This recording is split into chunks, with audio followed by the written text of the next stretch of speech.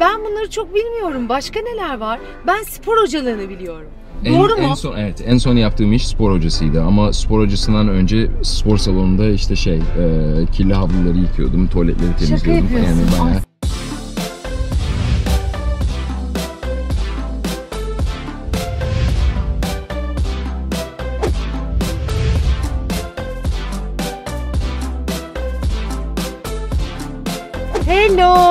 Hava sıcak olduğunda her şey daha da zor oluyor değil mi arkadaşlar? Neyse atlatacağız geçecek hepsi.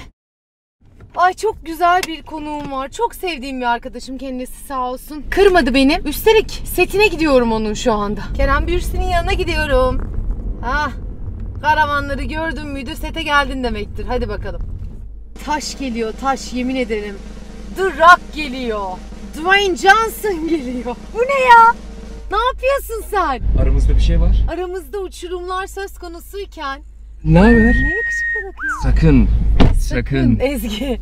Ezgi aman diyeyim. Ezgi. Ay bütün yol boyunca kendi kendime telkinlerde bulunacağım. Ezgi ne olursun ne? sakin ol. Bu ne? Aşkım maske takmayalım diye. Evet. Maalesef böyle bir tarihsiz bir dönemden geçiyoruz biraz. Maalesef. Değil mi? Evet. Nasıl geçti peki senin bu dönemin? Bol kitap okudum. Yazı yazdım. Ee, zaten şey yani bu işe hazırlıklar falan filan. Evet. Zoom'dan habire bir şeyler. Ne kadar zamandır ha o zamandan başlamıştınız siz öyleyse değil Hı mi? hı. Yani şöyle benim aslında şöyle bir planım vardı. Ben Amerika'ya gidecektim. Sonra bu olay patladı. Evet. Sonra şey dedim yani galiba Amerika'ya gitmeyeceğim. Burada kalayım. Evet. Sonra bu senaryo zaten vardı. Ee, çok da beğendiğim bir senaryoydu. Hı hı. O yüzden şey dedik. Yani bu işi yapalım. Kendimizi iyice verelim ve çalışalım Verelim. dediniz. Aynen. Güzel geçti ama yani ee, benim de işte köpekle mepekle eğlendik bayağı. Ne güzel. Spor. Evde bir şekilde Tabii ki arkadaşım. bir şeyler yapmaya çalıştık. Senin hayatında spor herhalde olmazsa olmaz öyle değil mi? Yani psikolojim bozuluyor. Tabii. Peki bir şey söyleyeceğim. Bu süreçte e, senaryoya da dahil oldun mu? Mesela acaba şöyle yapsak ben daha iyi hissederim. Ke- Keşke biraz daha böyle olsa gibi fikirlerini de tavsiyelerini de mesela söyledin mi? Çünkü çalışmak için güzel de bir fırsat olmuş bir yandan değil mi? Evet, şöyle diyeyim sana. Açıkçası senaryo ki biliyorsun bazen o kadar şanslı olmuyoruz ve senaryolarda delik evet çıkaralım müzikleri biraz Ben- gözlerimiz. Sen tak istersen. Sen Ya önemli değil. Çok Sakın. güzel olduğun için arkadaşım. Ha şey diyordum. Ee, işte genelde böyle senaryoda bir sıkıntı bulabiliyorsun, şey yapabiliyorsun ki ben o kadar çok karışmayı sevmiyorum. Ee, daha ziyade bir şekilde bir engel varsa karşında ki hayatta da böyle. Onu en güzel şekilde değerlendirmek. Yani o engel seni daha aslında şey yapıyor Gaza getiriyor bir noktada. ve daha, daha bir kreatif alan sağlıyor. Yani okey bu varsa o zaman ben ne yapabilirim? Hı hı. Ama bu senaryoda şey çok yani şey dedim Allah Allah yani baya güzel yazılmış Ha. ve güzel yani şimdi çok yani aşırı farklı bir şey çek. Herhangi bir şey söylemeye de gerek kalmadı anladığım kadarıyla. Ne yani, güzel ya. Ama yani şu biraz dalga geçeceğim ama yani bir hiç görmediğimiz bir senaryo yani bir zengin bir adam bir e, çok zengin olmayan bir kadının aşk hikayesi ki Evet. biliyorsun bu ülkede hiç yapılmadı öyle şeyler. Aynen öyle. Ben hiç. bayağı merak Yani- etmişim.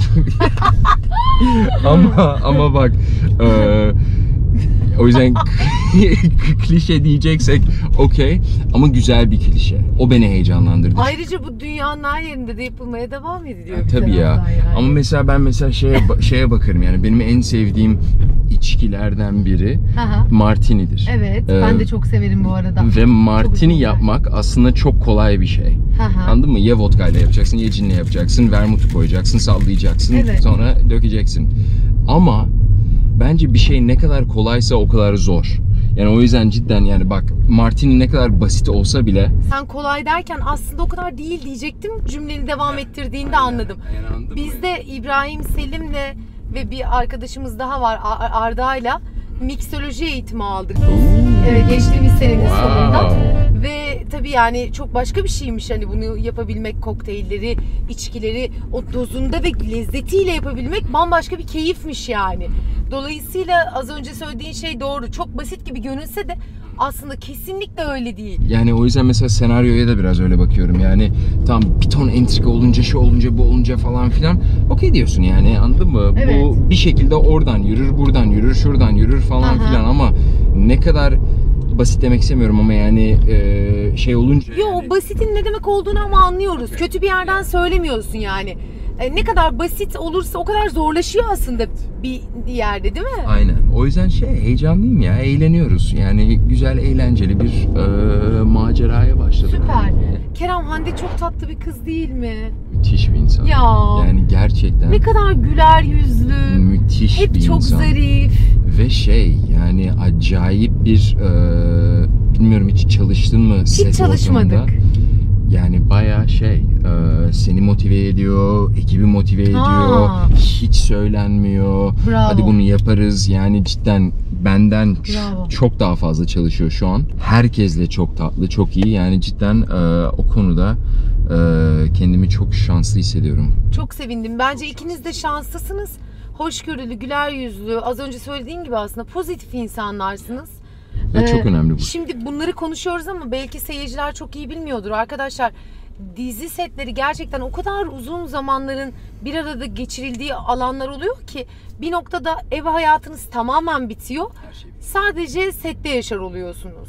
Dolayısıyla o işte tam da bu noktada biraz önce Kerem'in bahsettiği Hande gibi zarif ve insana kendini iyi hissettiren insanların olması o set için birer hazine. Kesin. Sıfır ego.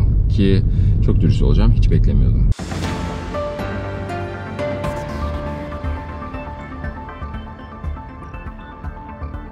Ha. Hiç beklemiyordum. Anlıyorum, yani evet. şey dedim. Okey. Yani bir bakalım neyle karşılaşacağız ama Evet. ben şok oldum ki o da çok güzel bir şey.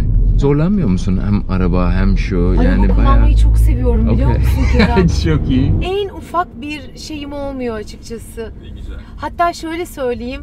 Hep diyorum ki kendi kendime eğer oyuncu olmasaydım tır şoförü falan olmak isterdim. Şoförlük hiç yaptın mı? Şoförlük. Hiç yapmadım. Yani hep birileri için yani. Okey. Hani özel olarak Tır profesyonel. şoförünü bilmiyorum. Biraz zor olabilir. Ah, Ama ben iki sene şoförlük yaptım Amerika'da. gerçekten Aha. mi? Amerika'da Aa! iki sene şoförlük yaptım ve bayağı zevkli bir iş. Ciddi misin? Bayağı zevkli bir iş. Ben bunu bilmiyorum. Ya. Bir Daha şey böyle oyuncu olma çabalarımda İşte- işte, para kazanmak için. Ben bunları çok bilmiyorum. Başka neler var? Ben spor hocalığını biliyorum. En, Doğru mu? en son evet en son yaptığım iş spor hocasıydı ama spor hocasından önce spor salonunda işte şey e, kirli havluları yıkıyordum, tuvaletleri Şaka temizliyordum falan. yapıyorsun. yani bayağı Ay sana helal şeydim. olsun. Eee, sonra işte bir tane gece kulübünde çok sevdiğim bir gece kulübü eee, Los Angeles'ta orada şeydim kapıda bouncerlık yaptım. Eee, Ya Kerem harikasın. Yani şunun için harikasın. Şimdi bizde şöyle bir ilginç bir ego var. Ee, sadece o işi yaparım. Ama hayatını idame ettirmen gerekiyor, değil mi? Sen bunu neden yapıyorsun? Hayatını idame ettirmek, standartlarını aynı yerde tutabilmek, istediğin tişörtü alıp istediğin yemeği yiyebilmek için değil mi? Ya yüzde yüz ama aynı zamanda yani şey yani şey olarak da bakmak lazım yani hepsi bir artı değer yani senin kişiliğine, senin karakterine an- anlatabiliyor muyum? Yani garsonluk da yaptım o yüzden ben bir restorana gittiğimde ya da bir şey yaptığımda o garsonun nelerden geçtiğini ya da ne çektiğini gayet iyi bir empati Evet, kurabiliyorsun ya da işte evet. şoförlük ya da ne, ne neyse anladın mı? Ve bence bu insanı zenginleştiriyor yani keşke hayatımız yani o yüzden şanslı hissediyorum kendimi. Bence o yüzden mesela oyunculuk çok güzel bir kariyer. Ee, çünkü biz tamam bir şekilde bir şey yapabiliyoruz ama o o seviyeye gelinene kadar e, yani işte hayatını idame etmen lazım. Yani yaşamını sürdürebilmen lazım. O yüzden yani işte şoförlük olsun, garsonluk olsun, spor salonu temizlemek olsun, spor hocalığı olsun. Yani bir ton farklı şeyler yaşayınca e, bence insanı zenginleştiriyor. Siz bubu açtınız mı? Açtık, cumartesi açtık. Oo. Sen gelebilecek misin? Tatil yapabilecek misin? İnşallah yani bilmiyorum biraz Onu onu zor soracaktım, olacak. merak biraz ediyordum. zor olacak. Evet, e, sete oyuncu arkadaşımı bırakacağım. Oyuncu. Kerem Merhabalar. Bürsin. Nasılsınız? Tanımıyorum ama Ezgi Mola. Bu bölümü tabii ki keseceğim. Kesmene gerek yok. Bu bölümü tabii ki keseceğim abi. Beni nasıl tanımazlar? Yo seni tanıdı. Adamın canı burnunda burada işine bakıyor. Ben en son dizimi 7 yıl önce yapmışım zaten. Peki seninle ne zaman bir iş yapacağız? Çok istiyorum. Biz Yani bunu iki biliyorsun yıldır biz bunu iki yıldır bunu konuşuyoruz. Artık yapalım. Evet ya. Lütfen. Peki biz e, tam da bu mecra için bir şey yapalım diye konuşmuştuk ya hatırlıyor musun? Hadi gel biz ona çalışalım. Yapalım. Gerçekten çok isterim bu arada Kerem. Umarım çünkü Ve beni kırmayıp geldiğin için de hakikaten çok teşekkür Ben çok ederim. teşekkür Setin ederim. ortasında yani. harikasın sen ya çünkü. sen de öyle. Seni çok seviyorum. Ben de seni çok seviyorum. Yolunuz açık olsun. İnşallah. Alkışınız bol olsun. İnşallah. İnşallah insanlar beğenir. Hadi kayıttan çıktık. Hadi çıkalım. Buna basın. Evet bassana. Yes.